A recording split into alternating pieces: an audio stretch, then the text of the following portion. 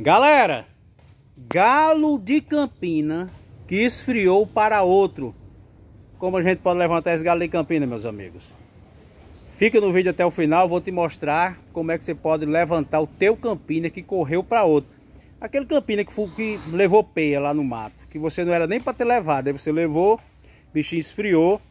Então, fica no vídeo até o final, você só vai pegar o macete se ficar até o final Beleza? Tu vai compartilhar esse vídeo com amigos. Tu vai deixar um like se gostar do conteúdo. Se tu não gostar, tu vai deixar dislike. Só no final do vídeo. Beleza? Muita gente aí com galo de Campina que correu para outro galo de Campina. E eu quero passar aqui é, para vocês algumas dicas que é que você pode fazer com galo de Campina, beleza? Então vamos lá. Primeira coisa que você deve fazer com o teu galo de Campina que correu para outro galo de Campina. Essa dica, meus amigos, só vale se o seu galo de Campina tiver corrido para outro galo. Beleza? Se ele tiver esfriado é, junto com a fêmea, não dá certo. Se ele tiver esfriado numa muda, não dá certo. Mas se ele tiver esfriado para outro galo, tipo relando o galo, tipo colocando para dar uma arenga, levando para o mato ele esfriando lá, essa dica vai ajudar você. Primeira coisa que você deve fazer é não levar esse galo de campina para esse setor. Não leve o teu galo de campina para o setor que ele esfriou. Não, Rosinaldo, é porque lá tem um casal. Meu amigo, passarinho não é burro, passarinho é inteligente, então ele sabe, ele sabe muito bem que está voltando para o mesmo território. Beleza? Território que não era dele, viu? Território que não era dele. Então, esse passarinho ele esfriou lá. Você não deve retornar lá. Esse é o primeiro macete que você tem que fazer, não retornar esse passarinho. Segundo macete que você tem que fazer, é evitar o máximo de levar esse passarinho para qualquer lo local que seja mato. Beleza? Vamos exercer agora a palavra mágica do canal. Vamos exercer metanoia nesse passarinho e fazer ele esquecer o trauma que ele sentiu no mato.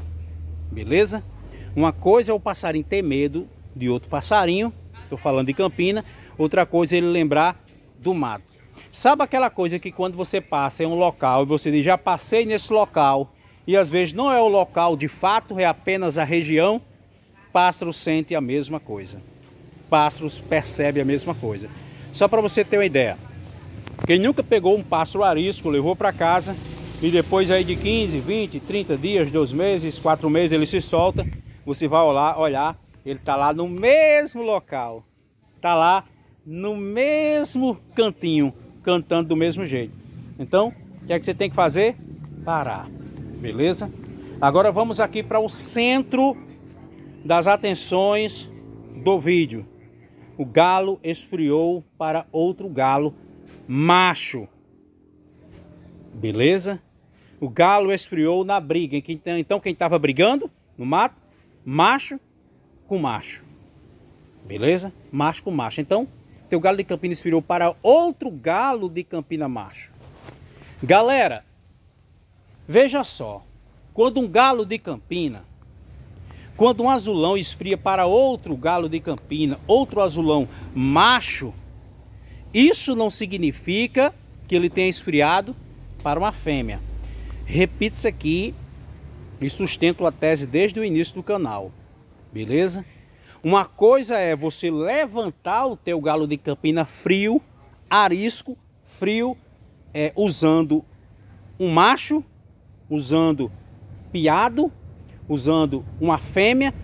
Outra coisa é você tentar levantar ordem, tentar foguear o teu campina, que já era fogoso. O teu galo ele já era fogoso. Se você está dizendo que o galo esfriou no mato, porque levou um cacete, então esse galo já era. Ele levou um cacete de quem? De outro galo macho. Você pode muito bem, meu amigo. Essa dica aqui é matadeira para galos que esfriou brigando no mato.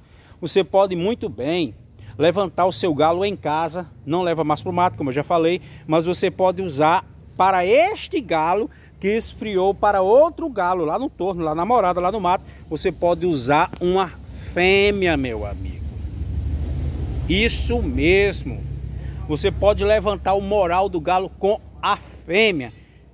Repito, se o teu galo nunca foi fogoso, é melhor que ele levante a moral com o tempo. Com o passar do tempo, ele levanta a moral sozinho, sem necessidade de uma fêmea. Só que aqui é um caso isolado, meu amigo. Aqui o galo levou porrada. Aqui o galo baixou a moral. Então como é que levanta a moral desse passarinho? Com a fêmea. Com a fêmea. Galera, nesse canal tem vários piados de fêmeas boas que você pode colocar para o teu galo levantar a moral. Beleza? Isso não significa que quando ele levantar a moral, você vai pegar o passarinho e botar para confrontar o macho de novo. Não, meu amigo, você tem que deixar o tempo passar. O passarinho tem que esquecer o trauma. O piado da fêmea vai apenas ajudar. Aqui onde é que está o segredo? Vai ajudar ao macho levantar a moral. Beleza? Ele vai contribuir. Por quê? Porque esse passarinho está para baixo. Outra coisa que você tem que fazer para levantar a moral desse passarinho: banho de sol. E lá vai uma dica matadeira aqui. Quando você colocar o teu passarinho no banho de sol, meu amigo, você pode muito bem, quando você vir que ele está saltitante, ele não está estátua, ele está um galativo, ele desce para o comedouro, ele volta, dá um ponteirozinho, dá um chama meio que forte, depois um meio que mole. Nesse momento você pode usar aí um ritinido de galo de campina fêmea. Galera, todo ritinido é a mesma nota, é tim, tim, tim. Mas você sabia que o galo de campina, ele sabe diferenciar qual é o tinido do macho e qual é o tinido da fêmea? Você sabia que o passarinho ele sabe diferenciar qual é o tinido do macho e qual é o tinido da fêmea? Pois é, meu amigo. Então, você não vai colocar um ritinido de galo macho. Tem muitos ritinidos de galo macho. Inclusive, eu tenho aqui no canal. Não aconselho colocar para esse galo que correu para outro macho. Mas tem muito vídeo, vídeos viralizados nosso aqui, que você pode...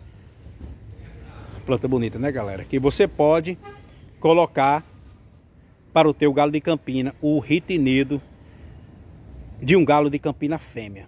Vai levantar a moral do teu passarinho. Banho de sol, solta devagarinho. Banho de sol, sol com ritinido e observa. Fica olhando o passarinho lá. O passarinho está de pendurado, o passarinho está na parede. Fica observando, meu amigo. E solta o ritinido e vai observando. Percebeu que o passarinho continua ativo? Continua ritinido. Percebeu que o passarinho baixou moral? Corta o ritinido. Vai fazendo isso todos os dias. Tigela com água, beleza? Eu tenho certeza que esse seu passarinho vai levantar a moral. E o conselho que eu dou, nunca mais leva um passarinho para brigar com o galo torneiro. Passa o torneiro, só abre para aqueles passarinhos que já vai pegando no pé. Aliás, ele nem abre. É o passarinho que pega no pé que já vai com uma nova técnica de travar a briga do, do mato. Valeu? Gostou? Deixa um like para nós aí, nos ajuda. Compartilha aí com amigos em grupo do WhatsApp. Se não gostou, deixa dislike. Vou responder o seu comentário desta forma. Beleza? Forte abraço. Fica com Deus. Valeu!